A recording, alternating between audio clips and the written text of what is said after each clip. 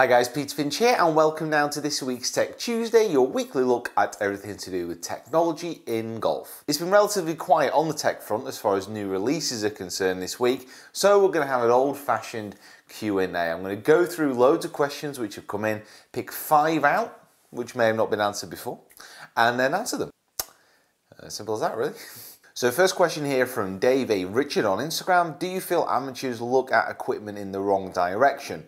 Driver down to putter, should they spend more for a great putter and buy a good used driver? So I think yes, it is a case of amateurs looking this in the wrong direction, but probably not from the direction that you're thinking about. It's another direction. If you think about you're on a roundabout, you're going right and then left.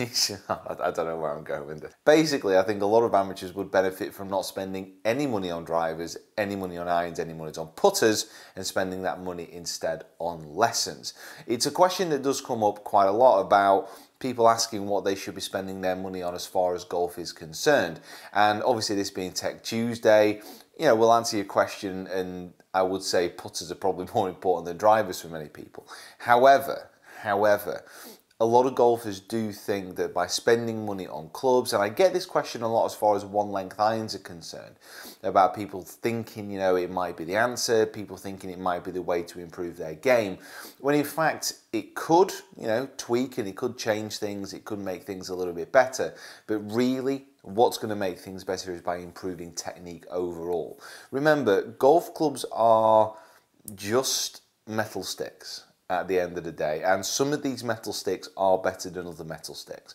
But it is the person who is swinging that stick around their body which really makes the difference. And if your technique isn't adapted properly to swing that metal stick effectively, then it doesn't matter what that metal stick is. So first of all, learn how to swing the metal stick. Then go get metal sticks. So a question here from Preston 10 Hammond, are you and Rick second-hand club challenge again this year? So yes, Yes, me and Rick will be doing the second-hand club challenge again this year. We are trying to get some dates together for that. Uh, and it is something which will be coming your way. I know a lot of you guys love these videos that we do with Golfbidder about the changes in technology and what you can get for your money at a lesser price point, used clubs. And yes, we will be doing it again this year. This question here from CMB Master 10. Opinions on ball prices going up again with the new Project A and Titleist soft. This is a question I do get asked a fairly lot. And this is a question I get asked a lot, you know, what is the best ball to use? And it does depend on, uh, depend on the individual. I use a TP5 ball, which is a pretty low spinning golf ball, but it still has decent feel around the greens. I'm starting to sound like a bo the bo the back of a golf ball box here. Um, but that is what I found really suits my game the best out of the balls I was trying last year. I've not retried since then, you know, so there may be a better option out there. But please bear in mind, I don't pay for my golf balls. So with all the videos that I do on the channel, the equipment companies know that when that equipment comes into my hands, when I use it and when I show it to you guys, it's great exposure. So I don't pay for that equipment. Now, if I was to pay for those balls. I, whew, it'd be tough because I go through a lot of them. You know, with all the filming, all the practicing, all the rest of it, it's a definite key consideration to bear in mind. But there are balls out there at this moment in time for a lower price point that really they would suit many amateurs down to the ground more than buying that premium golf ball. Because a lot of the times the premium golf balls, to get the most out of them, you've got to hit them hard. You know, you've got to hit them consistently as well. And in many cases, there's golfers who I coach who are off a 10 to 15 handicap who would benefit from playing more of a cheaper ball, say a Pinnacle for example, or a, a Srixon Softfeel, whatever it may be, than they would spending cash and loads of money on Pro V1s or TP5s or wherever it may be. A lot of people tend to turn their noses up at cheaper balls because there is a perception that they are worse balls. But in many cases, and for many players, if you actually analyse the data on which they hit their shots, those types of golf balls would actually give them more benefit than buying a real premium ball.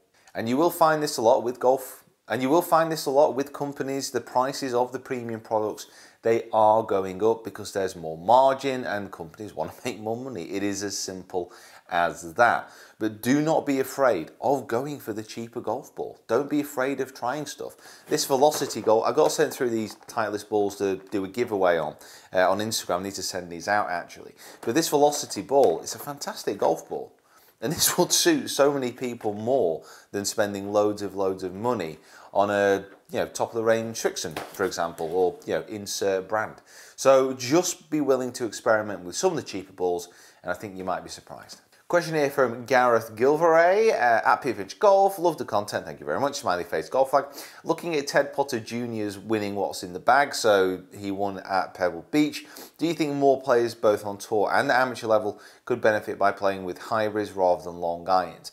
Um, I, I wouldn't really say that about tour players. You know, tour players do experiment and um, they will use the clubs that are best for them, and they are exposed to the best clubs, the best fitters, so they will know more than, say, a 15 handicap golfer at a club who just plays on the weekends. Having said that, hybrid clubs are still, I would say, vastly underused by amateurs, and if you want to expand on that, I would probably say that fairway woods are vastly underused by amateurs as well. There are so many good fairway wood clubs out there at this moment in time. And rather than playing with a three iron, with a four iron, with a five iron, with a six iron, you know, getting a seven wood in there, getting a 26 degree hybrid in there will do so many more players the world of good. But there is a little bit of stigmatism attached to it. You know, it's a little bit more macho to pure four iron to strike it down there rather than to get that little hybrid out and just you know dink it down there. it, it, it is a little bit of an ego thing at times. However, what a lot of people do find is when they test out hybrids, when they get fitted for hybrids, they will perform much better in a wider range of circumstances. So yes, I would say that on an amateur level, certainly hybrids are underused. On a professional level, I wouldn't really say so. You know, those guys strike it well enough to be able to use long irons to their full effect. So a question here from Niall O'Sullivan. Speakers on the golf course, what side are you on? It doesn't personally bother me. I've got to be honest, I have played a couple of rounds with music blasting out of a buggy, certainly in the States.